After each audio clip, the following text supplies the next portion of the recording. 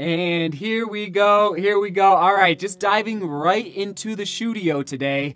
I filmed like a couple clips in the gym, but there's only so much cross training that I can film. And it was a harder day mentally in the gym. I'm just, you know, being transparent, the highs and the lows on this daily vlog. One second, I'm a little thirsty. Hold on. Basically, I've been striving today to set up an MRI we finally got it done, but it, you know, it was a little bit of a challenge trying to, basically I had to call the doctor and call the, the imagery uh, spot who's gonna take the pictures for my foot. We're making progress though, so Saturday morning, 8.30 a.m. my time, I'll be getting pictures taken on my foot for an MRI and we'll be able to get a little more information. And the reason uh, I didn't think of this 10 days ago, I should have thought of this, but the Cleveland uh, plane tickets are purchased already and so if I know it's a stress fracture, we can basically cancel our plane tickets immediately and uh, move on to plan B, plan C, and so forth. Therefore, anyway, I, hadn't, I didn't even think of that 10 days ago. So anyway, the doctor said, okay, we'll get you an MRI as soon as possible. So that's happening, and today we are diving into your running questions. That's right. If you haven't connected yet on Strava or on Instagram, both of the links are down below. Those are probably the two best places to connect with me. I also am very active on Twitter. Um, anyway, so you can send me questions through Instagram and Strava, and I will do my best to answer in a timely manner. You can also email me, but the emails get they get jumbled with all the other emails. So anyway, all right, moving on to the Hoka Carbon X. That's right, you probably wondered why that is in the title of this vlog. Basically, tomorrow, Saturday, May 4th, Hoka is turning 10 years old. I do believe. That's what I read on the website. Their 10 year anniversary. Therefore, they're launching a new shoe called the Hoka Carbon X, a new carbon fiber plate shoe from Hoka. So, you guys know, you've seen me talk about the Hoka Carbon Rocket. Go check out that full review, upper right hand corner. Uh, this is a one millimeter drop shoe right here and more of a racing shoe. Uh, I would say 10K, maybe a 10 miler, maybe half marathon, although I know a lot of people will use this for the marathon distance as well.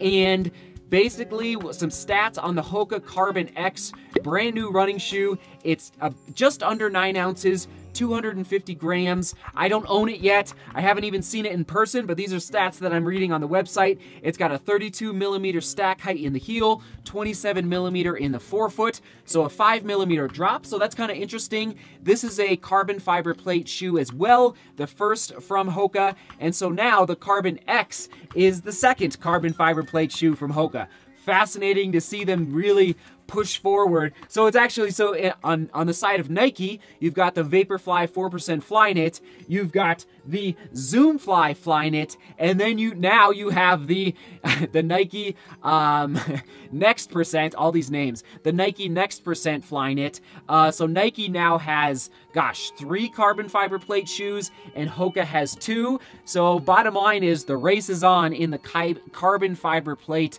running shoe lineups. And in addition, the new Hoka Carbon X is gonna cost $180. So they're not giving it away, that is for sure. Moving on to your questions here. Today, what are we doing? I'm answering your questions. Again, you can send them to me through Instagram and Strava.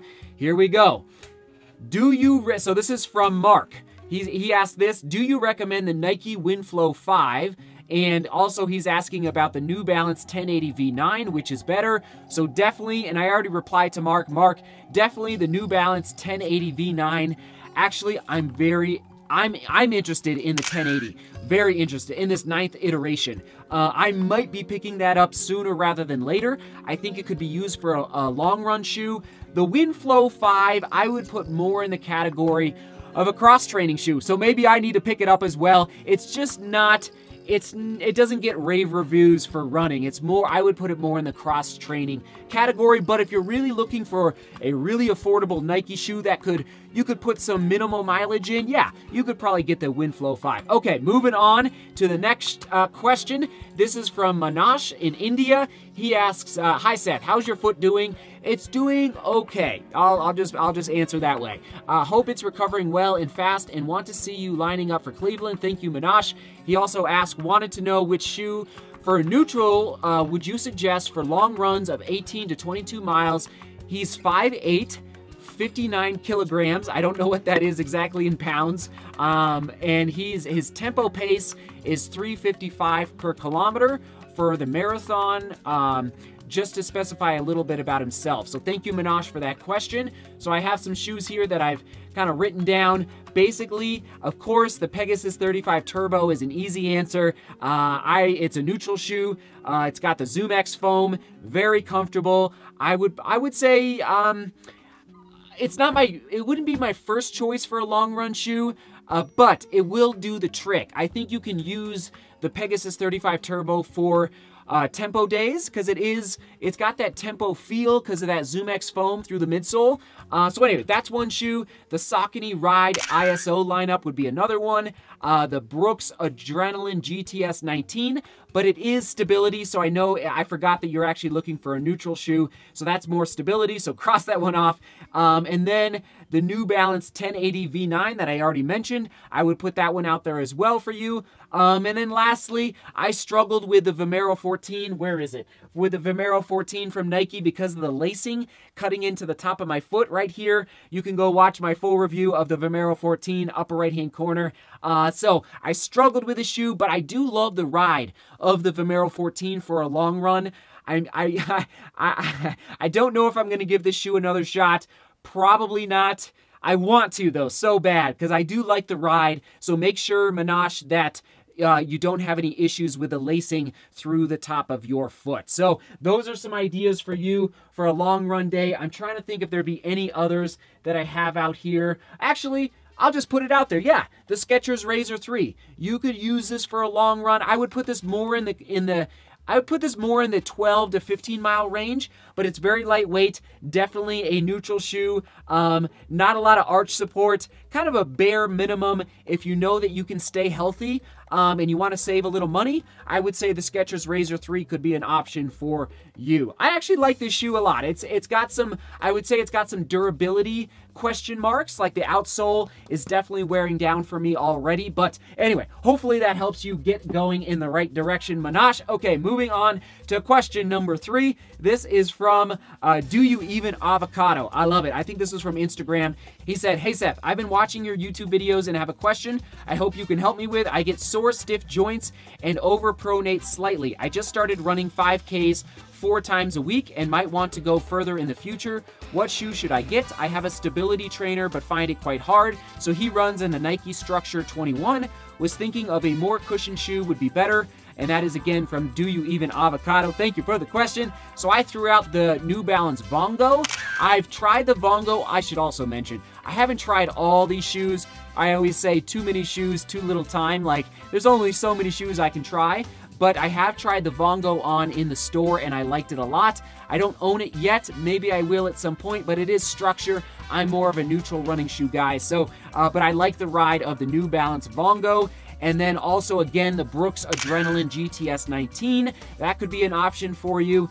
And then also uh, from Hoka, the Gaviota and the uh, the Hoka Bondi 6.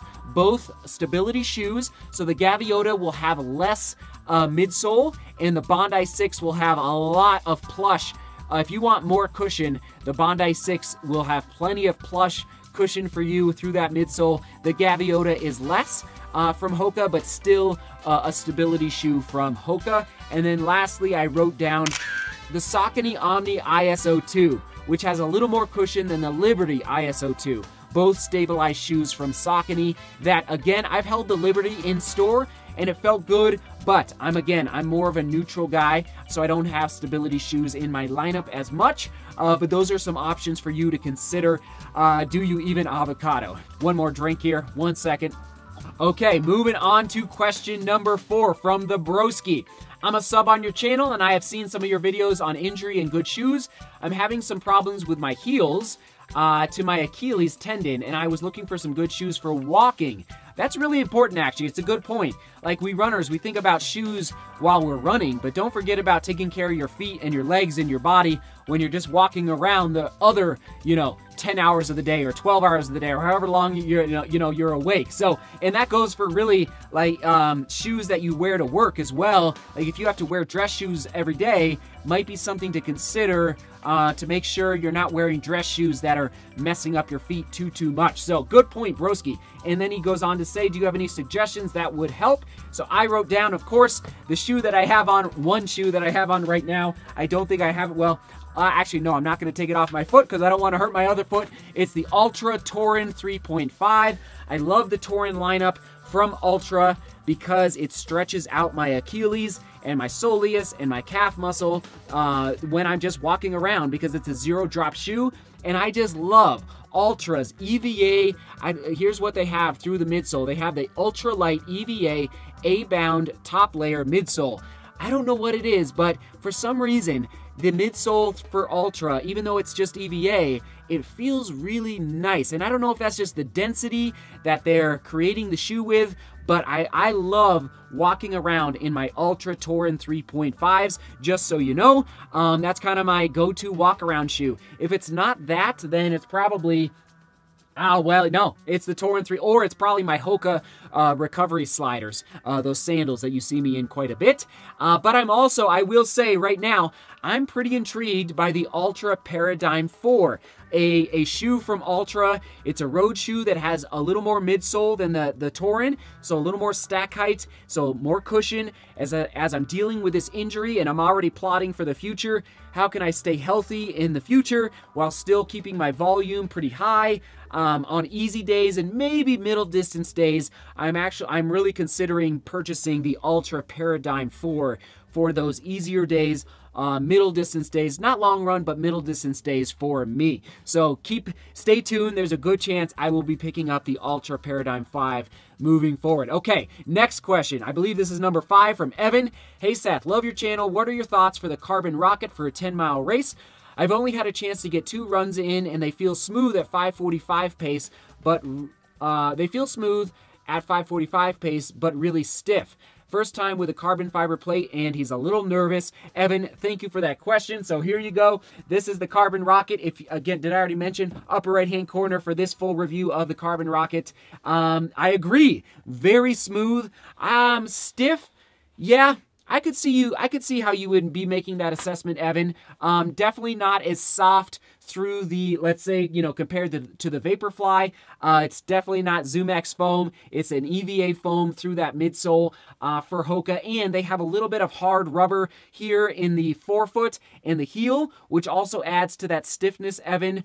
Uh, so I think you can. I wrote back to Evan and said you could definitely use the Carbon Rocket for a 10 mile race. And Evan, I would agree with you about being a little nervous about running in a carbon fiber plate shoe too often. My thesis is that uh, in my training, I want to run in carbon fiber plates once a month, twice a month, basically for hard threshold efforts. That's how I plan to use the Zoomfly Flyknit moving forward, potentially the Carbon Rocket, maybe the Hoka Carbon X at some point. You know, some people train. All, it seems like it's crazy, but some people train in the Vaporfly 4% Flyknit every day. It's insane. Now they have a lot of money and they can afford to buy like eight pairs of Vaporflies. So uh, I don't know though. I'm of the opinion that I like to train in shoes that are going to make me work a little harder, meaning the weight is a little heavier, uh, doesn't have a carbon fiber plate in the shoe, because then, then when you put on a carbon fiber plate shoe, you're crushing it. You're just crushing it because your legs are like, oh, okay. I have a little help here. I've been training in a shoe that is heavier, doesn't have a carbon fiber plate. So anyway, Evan, that is my thesis when it comes to carbon fiber plates. And there you have it. I could talk about running shoes all night, but I'm to call it there. Keyword answers. I hope I provided a little bit of insight and some answers for you about running shoes. And listen, everyone's foot is different, everyone's gait cycle is different, so you just got to get the shoe on your feet and go run. It's that simple and see how it feels. Um, but I do hope that my thoughts help at least narrow down your selection a little bit, right? There's just so many to choose from. It, it, it, can be really overwhelming when you walk into a running shoe store. So, anyway, I hope that gives you some insights. And question of the day if there was one and I'm putting you in a corner here. If there was one feature of a running shoe that you had to choose that made you purchase that shoe, what would it be? So we're talking about grip, we're talking about drop, we're talking about comfort, we're talking about uh, midsole, we're talking about the lacing system, we're talking about the tongue, any feature of a running shoe. And I think really soon I'm gonna make a video about the anatomy of a running shoe just to help you all learn a little bit more about running shoes. So anyway, if there was one feature of a running shoe that you had to choose for your purchase. Um, like that is what pushed you over the edge for like, okay, I'm gonna buy that shoe because of the uh, grip in the outsole, what would it be? Thanks for hitting it up down below, and thanks for bearing with me. I'm gonna try to keep doing this daily vlog as long as you keep watching, but again, it's getting, uh, it's, you know, it's gonna be difficult moving forward without being able to go out and run and film, but if you stick with me, I'll stick with you. It's just like, oh, today was a hard day, like, oh, just trying to figure out what to film and uh, being mentally tough in that gym on the stationary bike. But I know you got my back and I appreciate it. So you better believe it. I will be back tomorrow, no matter what it takes, right? No matter what it takes. Seek beauty, work hard, and love each other. Mm. We got this. We got this. Oh, up here. It's all, it's right there. It really is. It's crazy. Today was a hard day. It, it's, it's there. It's there. It's there. See you tomorrow. Did I already say that?